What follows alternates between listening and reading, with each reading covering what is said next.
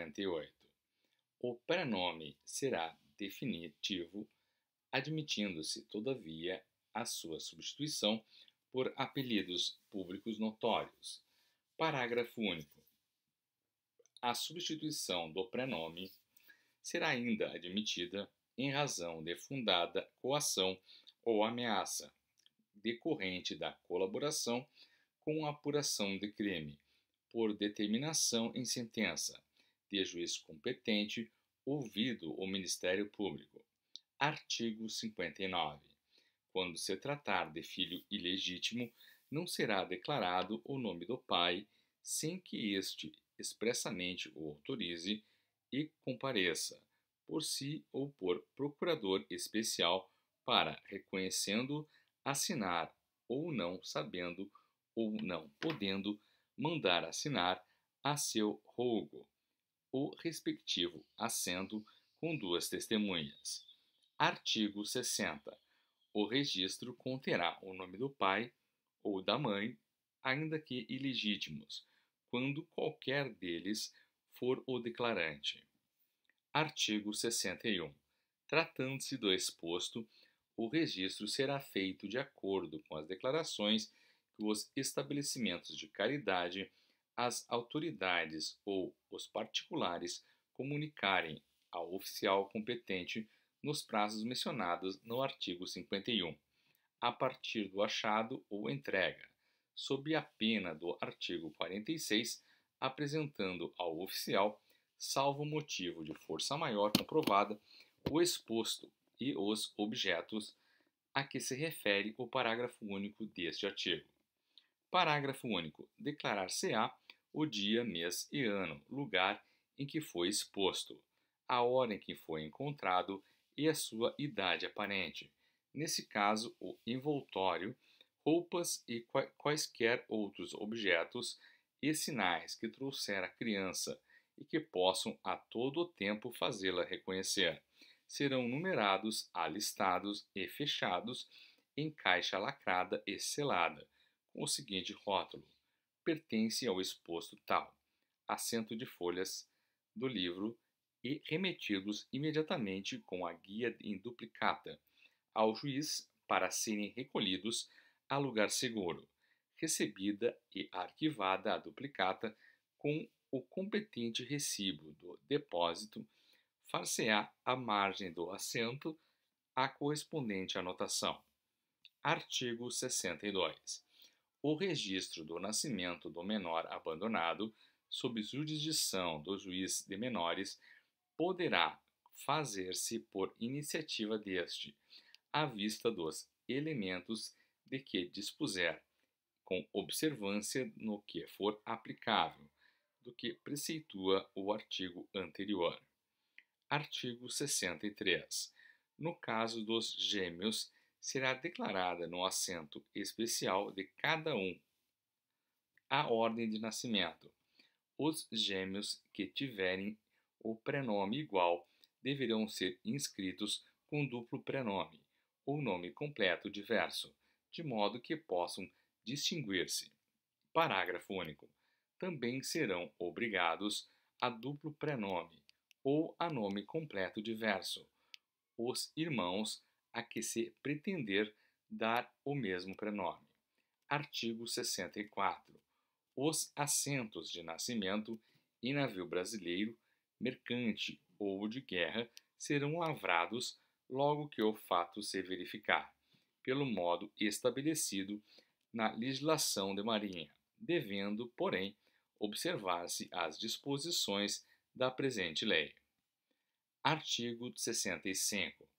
No primeiro porto a que se chegar, o comandante depositará imediatamente na capitania do porto ou em sua falta na estação fiscal, ou ainda no consulado em se tratando de porto estrangeiro, duas cópias autenticadas dos assentos referidos no artigo anterior uma das quais será remetida por intermédio do Ministério da Justiça ao oficial de registro, para o registro no lugar de residência dos pais ou, se for possível descobri-lo, no primeiro ofício do Distrito Federal, Uma terceira cópia será entregue pelo comandante ao interessado, que, após a conferência na capitania do porto, por ela poderá também promover o registro no cartório competente.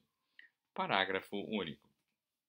Os nascimentos ocorridos a bordo de quaisquer aeronaves ou de navio estrangeiro poderão ser dados a registro pelos pais brasileiros no cartório ou consulado do local do desembarque.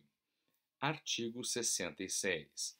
Pode ser tomado assento de nascimento de filho de militar ou assemelhado em livro criado pela administração militar mediante declaração feita pelo interessado ou remetido pelo comandante da unidade quando em campanha. Esse assento será publicado em boletim da unidade e, logo que possível, transladado por cópia autenticada ex officio ou a requerimento do interessado para o cartório de registro civil, a que competir, ou para o do primeiro ofício de, do Distrito Federal, quando não puder ser conhecida a residência do pai. Parágrafo único. A providência de que trata este artigo será extensiva ao assento de nascimento de filho de civil, quando em consequência de operações de guerra não funcionarem os cartórios locais. Capítulo 5 da habilitação para casamento. Artigo 67. Na habilitação para o casamento, os interessados, apresentando os documentos exigidos pela lei civil, requererão ao oficial do registro do distrito de residência de um dos nubentes que lhes espeça certidão de que se acham habilitados para se casarem. Parágrafo 1.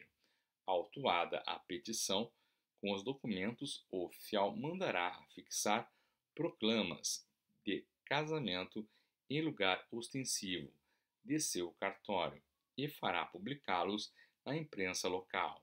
Se houver, em seguida abrirá vista dos autos ao órgão do Ministério Público para manifestar-se sobre o pedido e requerer o que for necessário à sua regularidade, podendo exigir a apresentação de atestado de residência, firmado por autoridade policial ou qualquer outro elemento de convicção admitido em direito. Parágrafo 2. Se o órgão do Ministério Público impugnar o pedido ou a documentação, os autos serão encaminhados ao juiz, que se decidirá sem recurso. Parágrafo 3. Decorrido o prazo de 15 dias a contar da fixação do edital em cartório, se não aparecer quem oponha impedimento, nem constar algum dos que de ofício deva declarar, ou se tiver sido rejeitada a impugnação do órgão do Ministério Público, oficial do registro certificará a circunstância nos autos, entregará aos nubentes certidão de que estão habilitados para se casar dentro do prazo previsto em lei. Parágrafo 4. Se os nubentes residirem em diferentes distritos do registro civil, em um e em outro se publicará e se registrará o edital. Parágrafo 5.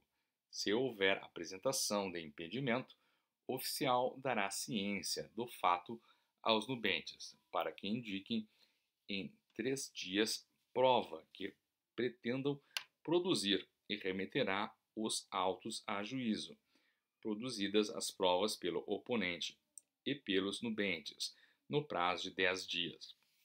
Consciência do Ministério Público e ouvidos os interessados e o órgão do Ministério Público em cinco dias. Decidirá o juiz em igual prazo. Parágrafo 6. Quando o casamento se der em circunscrição diferente daquela da habilitação, o oficial do registro comunicará ao da habilitação esse fato, com os elementos necessários às anotações nos respectivos autos.